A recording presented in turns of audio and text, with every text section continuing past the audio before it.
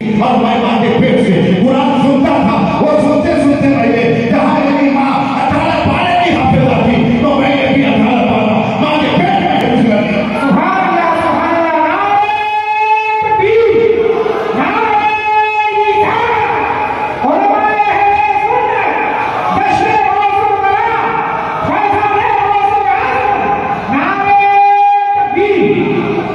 आज हमारे माँ बहनों का ये है कि आज